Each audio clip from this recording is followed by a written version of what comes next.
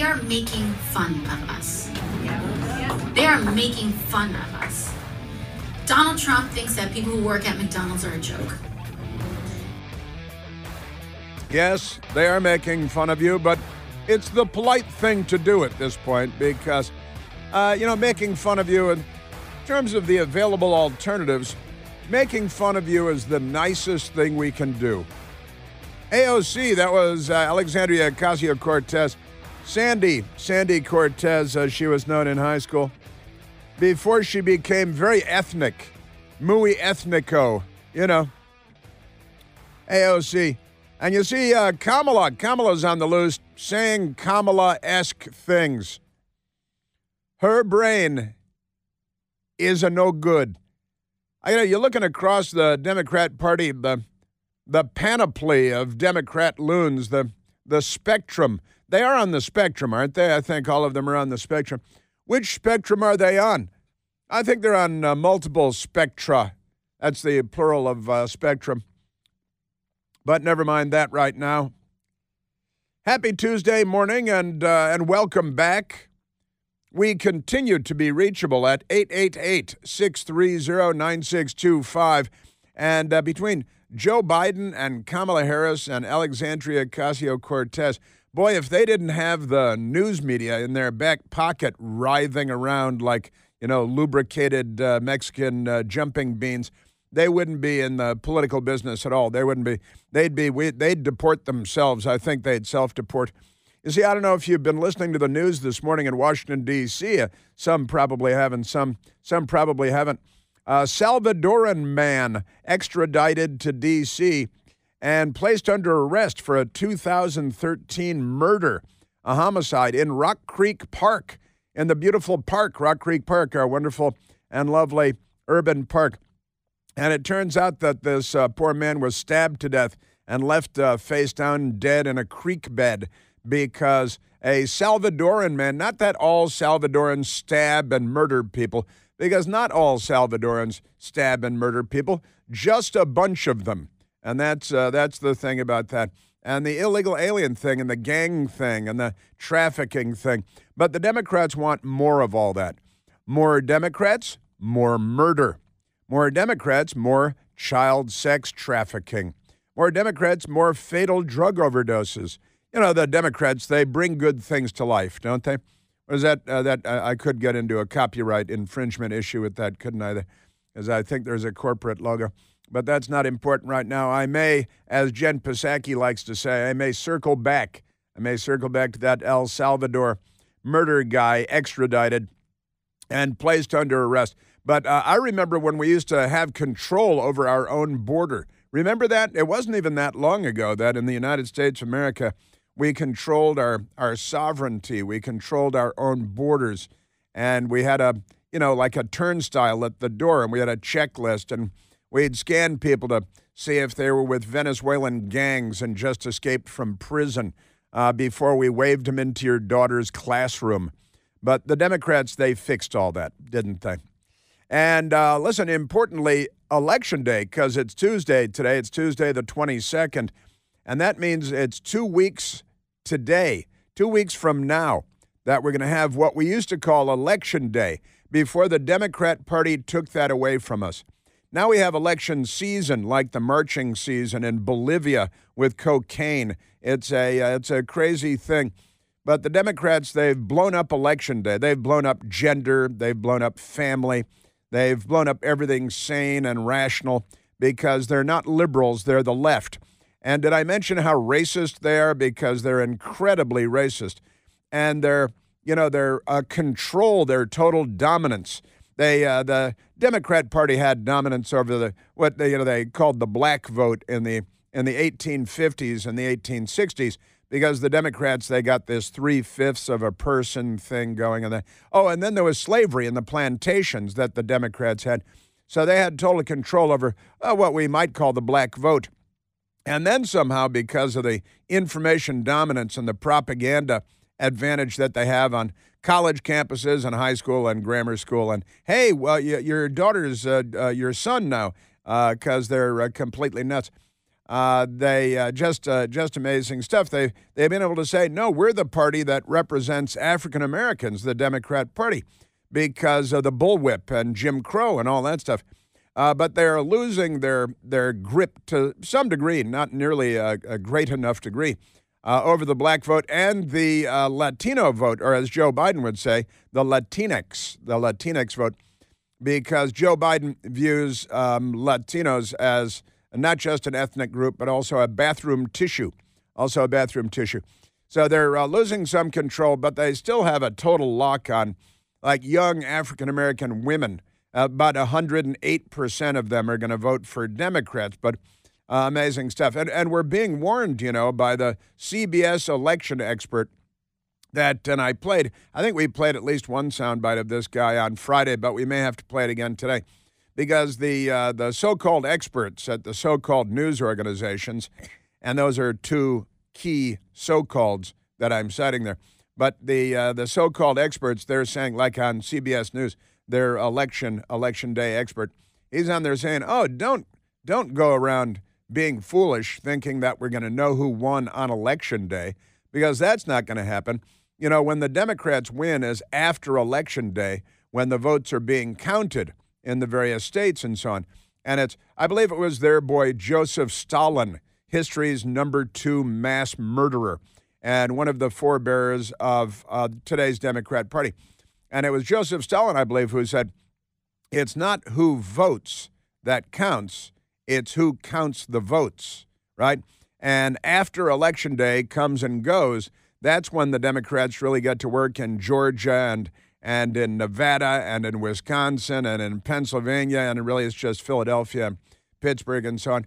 And and that's when they when they really start counting behind the curtain and the doors are closed and they put placards up over the windows as they did last time around so that poll watchers at the polls can't watch, uh, which is the whole idea of being a poll watcher. You're at the polls and you watch. But on CBS News, what's the guy's name? On, Oh, yeah, David Becker. He's the CBS News election expert, and he's warning us they're telegraphing what's coming. It always takes a long time to count ballots. Oh. We're going to see that again, and margins oh. are likely to be tight, so we might need to wait a few days in states like Georgia and elsewhere. Yeah, and then he went on to say it could be weeks. He said it could be weeks, could be days, it could be weeks before we know. And uh, and and they and they love to hang it on Georgia. It's oh yeah, it's just Georgia because uh, we're going to blame Georgia. Maybe Stacey Abrams should go down there with, uh, you know, a green eye shade, and and she could count votes because she's real good at that.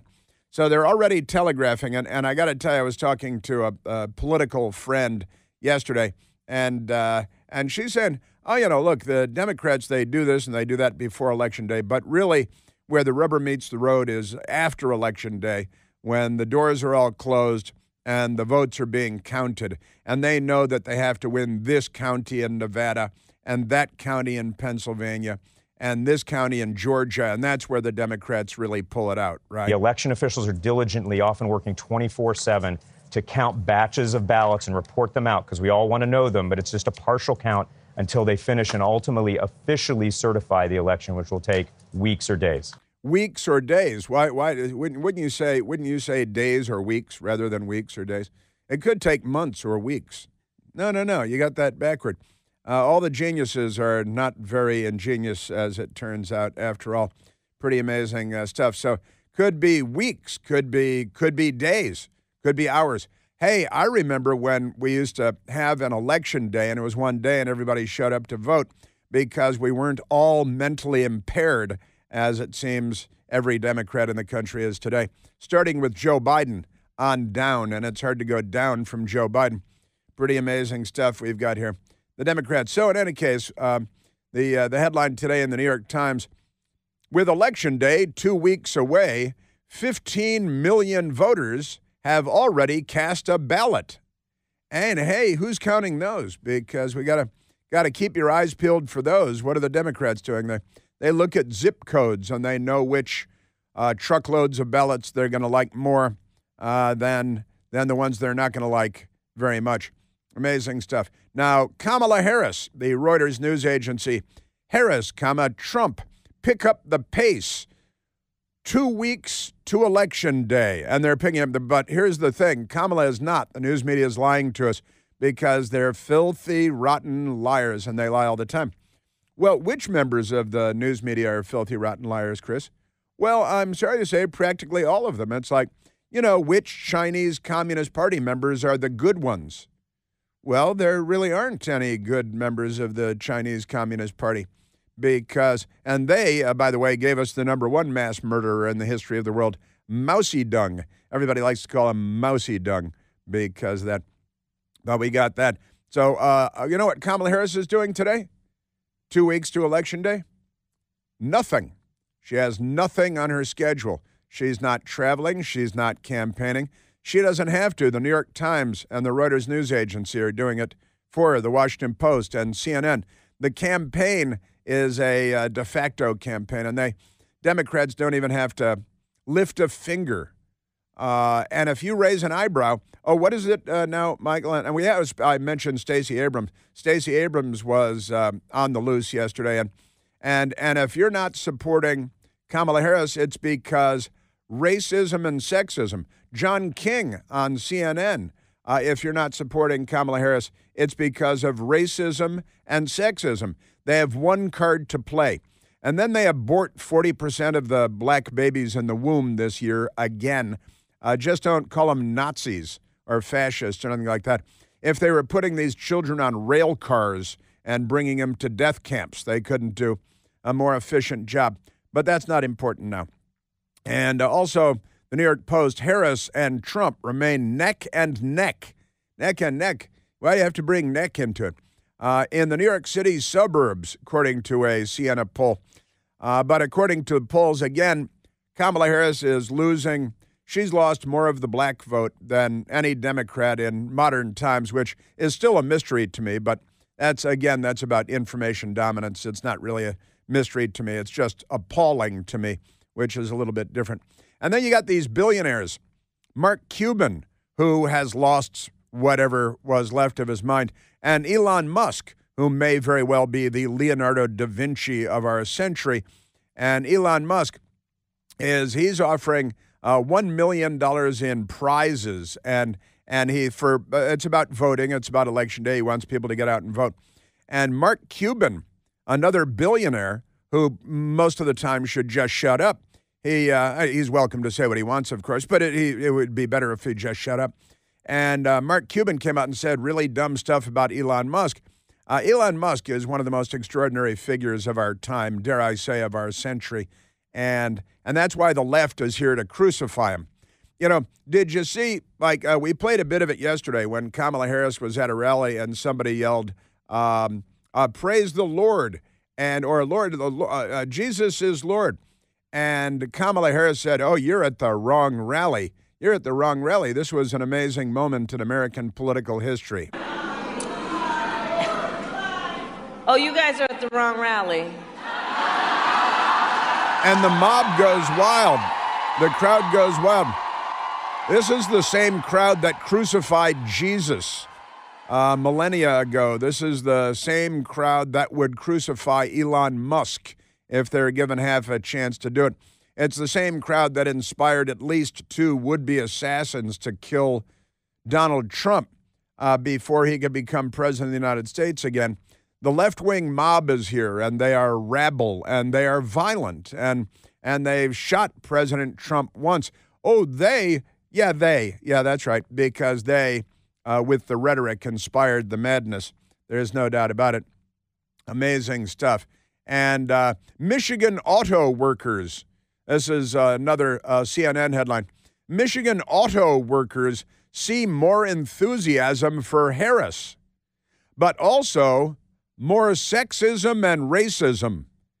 You guys really just you have like one string on your violin and no bow whatsoever, so it's just twang, twang, twang over and over again with your teeth like the goobers that you've become. Amazing stuff. Uh uh uh. And again, I just played for you the Christian students in Wisconsin. They went on television, the ones that said, uh, Jesus is Lord. You're at the wrong rally. Because remember, this is the party of the after school Satan Club. They love Satan. It's like uh, their whole Democrat Party is like is like dinner in Rosemary's Baby. Uh, boy, are they not on our side. Amazing stuff. So I got a bunch of that for you. Uh, also, crazy statistics. President Trump went to McDonald's, and the left had a mental meltdown again because President Trump went to McDonald's. And there are headlines like, he doesn't really work at McDonald's. He doesn't really work at McDonald's. You guys, it's low IQ theater for you guys, huh? I've got an update on the Sinaloa cartel out of merry old Mexico. Olivia Nutzy. Remember Olivia Nutzy? She was trying to have sex with Robert F. Kennedy Jr., and her reporter boyfriend had to break off their engagement because she's such a hoser. Just a hoser. But uh, we got that. And Marion Barry, the late Marion Barry, is in the news. I miss Marion Barry. I miss Democrats like Marion Barry. Sure, he smoked a little crack and had hookers all over the place, but, you know, he was a better Democrat than the ones we have today. If today's Democrats would start smoking crack, hey, wait a minute, maybe Hunter Biden could be elevated to. We're at 888 630 9625. Keep in mind that according to the party of Jim Crow, that if you're not supporting Kamala Harris, it's because you're a racist and a sexist. They're already laying the groundwork for, uh, I guess, the, the second Democrat Civil War because you're a racist and a sexist. And, and if she doesn't win, then white people are going to have to be held accountable, according to a woman who's a, a genius on CNN, because the Democrat Party is uh, unwell, mentally unwell, violent, and uh, dangerous. And they'd like your vote. All right, let's go to the uh, telephones. Real quick, let's go to Joe calling from Stafford, Virginia. Joseph, you're on the Chris Plante Show. Chris, pleasure. Um, I was telling Jeff, you know, I, I'm I'm oldish like you. Anyway, you might remember. Do you remember the DNC convention where they went crazy out of their minds to vote God, the word God, out of their platform? I think 2012 is probably. Yeah, it was 2012 or maybe even 2016 with Hillary in Philadelphia. Uh, but you're right; they Yeah, found they, they- found the word God in their platform, and they all voted and uh, broke chairs and screamed, "We got to get God out!" Yeah. So here's here's the homework assignment for somebody. Um, was Kamala like really involved in that? And you know, who knows what it'll do? It'll just be interesting to find out that you know she was one of the people up front. Well, Uh, look, I mean, they take quick- you if you want to say a prayer after a football game as a high school coach, they'll take you to the Supreme Court to try to stop you. You show up to a Kamala uh, gathering, she'll tell you you're at the wrong gathering, and they did take the word God out of their platform.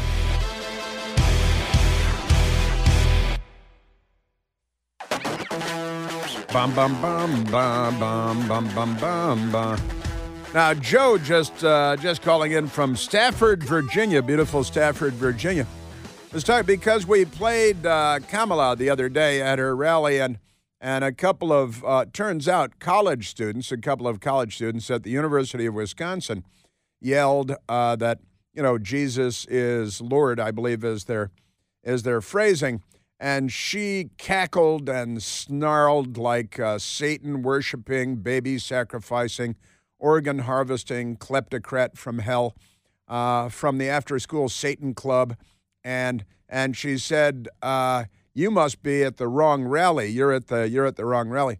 It was a pretty amazing moment in American political history.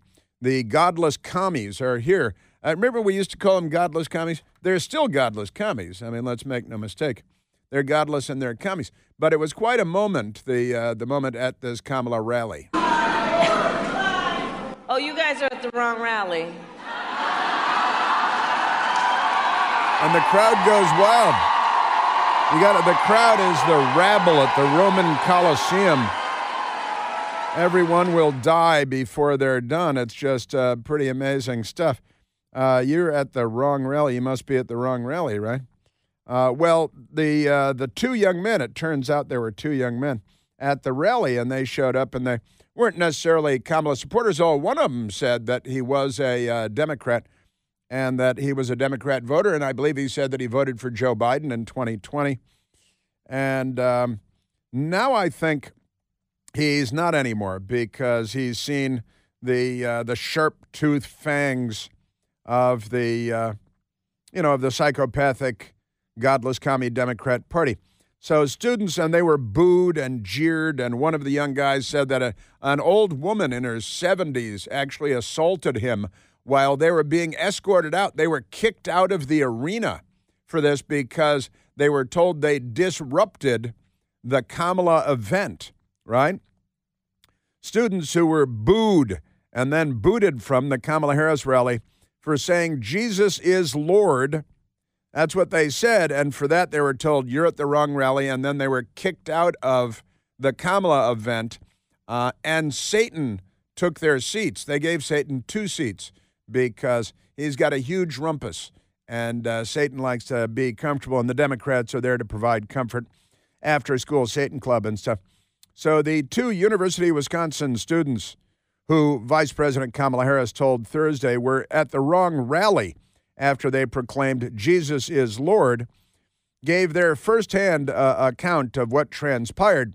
And it makes a Democrat nominee for president look even worse because while speaking about abortion and very enthusiastically pro abortion because you got to snuff out 40% of the black population in the womb so that everyone has more parking and uh, more space in classrooms, you know, fewer children.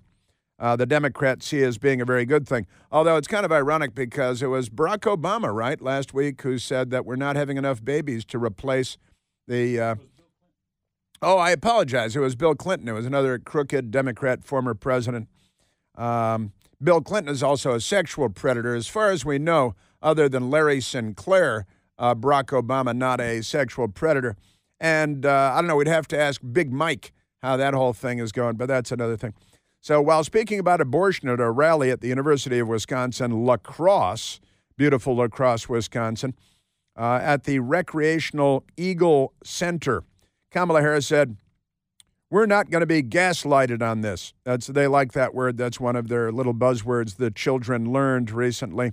We remember Donald Trump hand selected three members, and this is they they misrepresent this all the time. They don't understand our system of government, even the basics. Pretty amazing stuff. We remember Donald Trump hand selected three members of the United States Supreme Court. Well, he's the president. He nominated three judges, if that's what you mean to be justices, but uh, she's really not a bright woman at all. With the intention that they would undo the protections of Roe v. Wade.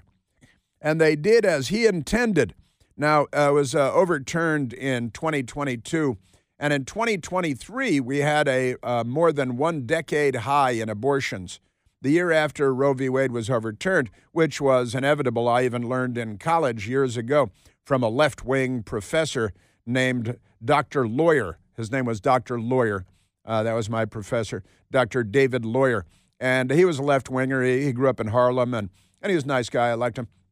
And he explained when I was uh, 20 years old that Roe v. Wade was based on very shaky, faulty law, and everybody knows it. And his name is Lawyer, so he's got to know. And he's Dr. Lawyer, so he definitely knows. He's got both sides of this thing covered as Dr. Lawyer. And, and he explained to me when I was 20 years old in, in the class that uh, Roe v. Wade would be overturned because it was based on such shaky, wobbly law, and everybody knew it even when uh, in 1973 it became the law because of the Supreme Court decision in Roe v. Wade, where uh, Jane Roe was a pseudonym. The woman's name was actually Norma McCorvey, and I met Norma McCorvey more than once, the woman in the uh, Roe versus Wade thing, and interviewed her at least once. And she later became pro life by the way, but never mind that. And then they threatened her and harangued her, and, and she became wishy washy and wobbly later in life. But, but never mind that. That's not important now. But I did meet her a couple of times uh, here in Washington. So um, she uh, yelled, you know, you're at the wrong rally. And then, uh, pretty amazing stuff. They were ejected from the, uh, from the event because Luke Pulaski and Grant Beth, Grant Beth, his last name is Beth, B E T H, and his first name is Grant. and they're uh, pro life. And they, they shouted while she's yelling about this, they shouted, Jesus is Lord and Christ is King. And Kamala Harris said, Oh, you guys are at the wrong rally. Now, I think you meant to go to the smaller one down the street. Now, if you're talking about Donald Trump's rally, it's uh, 50 times the size of your rally, but never mind that. And since Joe uh, brought it up, calling from Stafford, Virginia, I did a quick lookup, and it was 2012 when the Democrats removed the word God at the Democratic National Convention uh, from their from their platform.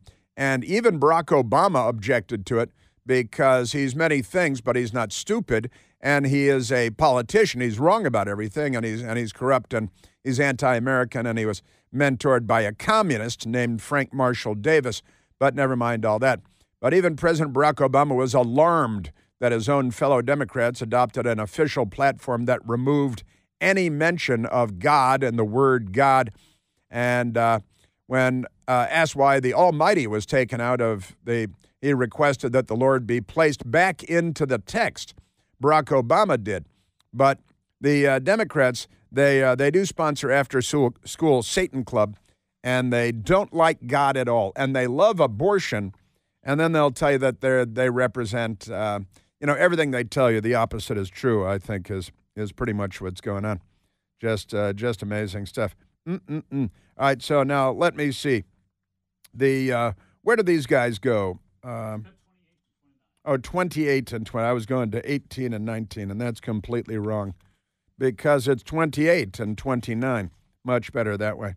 So um, here is the, uh, let's see. Um, hey, I don't see the, uh, let's go to, oh, oh that's the uh, students. Now, here's one of the students, Grant Beth, who's a student at the University of Wisconsin at La Crosse. And he's one of the uh, young men that was ejected from the Kamala rally for saying Jesus is Lord, and she said, You're at the wrong, the wrong rally. Christ is King. You're at the wrong rally. You should go to the Satan gathering down the street where we're going to be impaling children on large steel pikes. Uh, but here is uh, here is Grant Beth. I wasn't really thinking about Kamala Harris. Um, obviously, she she told us to leave her rally um, just for talking about our faith and saying Christ is King, Jesus is Lord. Um, we were mocked not only by Kamala Harris, but by her patrons as well. Um, I think it's important to understand that, you know, we were cursed at, I was assaulted at the rally, and Kamala Harris doesn't care about Christians in this country. That would be a generous understatement, I think. Uh, pretty amazing stuff. And and uh, then Luke Pulaski, who's the other student, University of Wisconsin at La Crosse. I've uh, I've actually been there to the University of Wisconsin at La Crosse. La Crosse is a great a great and beautiful place. Um, but Luke Pulaski was the second student that demonstrated the poor judgment of yelling uh, "Christ is Lord" at a uh, Democrat rally. When she talked about abortion, uh, something went through through my mind that as a Christian, it's just not right and that's when I decided to speak up and say Jesus is Lord. And after uh, her response, it's clear she doesn't deserve my vote and she doesn't care about Christianity.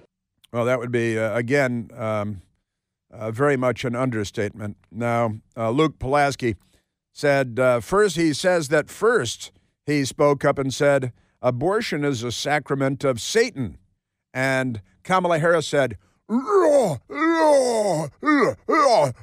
and she said, Anal Nathrak Luth Vas Piende. And everybody said, What is that? That's the kind of Satan talk. What's going on with that? And then uh, she uh, threw a child out to the crowd, and they tore it limb from limb and ate it with their sharpened teeth. That was kind of weird. That was, I got to say, that was weird. And uh, so they were, you know, they they they were there and then they weren't. They figured, hey, big political event, and she's running, and and uh, one of them, I'm not sure which one it was, but I saw them being interviewed on TV. Said, "Oh no, I voted I voted for Biden last time around, but you know now it's getting kind of weird." So um, amazing stuff. The Democrat Party is not on the side of what are they not on the side of decency and is so uh, and said, Hey, I was pushed by an elderly woman We were heckled. We were cursed at. We were mocked. And uh, that's the biggest thing for me personally. In reflection of the event, Jesus was mocked. You know, his disciples were mocked. And uh, that's okay. In reality, we did God's work, and we were there for the right reasons. And God is watching us at this moment, said uh, young Mr. Beth. Isn't that uh, remarkable stuff? But the Democrat Party, they're, they're not really on the side of Western civilization. They're the left. And the left, now, look, I, I don't care if you're, uh, you don't have to be a Christian. You don't have to be a person of faith. You don't have to go to church every Sunday. Uh, but you should be respectful of other people's religious beliefs because this is the United States of America and we respect other people's religious beliefs. Now, if you're a jihadi and calling for the Jews to be exterminated and wiping Israel off the map from the river to the sea, then the Democrats will all applaud you. Oh, yay, jihad. We love the jihad. You know, LGBTQ for Hamas because they won't throw you off of rooftops or hang you upside down or anything like that. Isn't that amazing? But uh, but the Democrat Party is, you know, it's intolerance in the name of tolerance once again, which is something that they do so often. It's one of their one of their trademark characteristics these days, to be intolerant, but always in the name of tolerance, because they don't make a lot of sense. Let's uh, let's be fair, not a bright bunch, and very angry about President Trump doing the French fry machine at McDonald's too. Really a meltdown over that. These people. All right, let's grab a uh, let's grab a phone call, Michael. Let's go to Jay calling from Arlington, Virginia. You can call me Jay. You're on the Chris Plante Show. Good morning, Chris. Uh, picking up your question about why would uh, Kamala do this, and what you mentioned the other day about being self-revealing. What is self-revealing about her response is that it is not a logical one, scripted or thought out for her. Rather, it's a reflex, an automatic reflex that reversed her character and her soul. She didn't have to think about this. She didn't have to be told what to said. Uh, inside, she knew what she said, and I think that is the most uh, oh awe-inspiring in a negative way uh, aspect of what she said. And I think all along that's what this election has been about, and I think it elections probably for time eternity or time eternal is that uh, do you believe in a God centered world or a man centered world? And she pretty much answered that question for herself. Yeah, she did, and you're absolutely right that it was uh, it was not scripted, it was not in the teleprompter, it was not thought out ahead of time.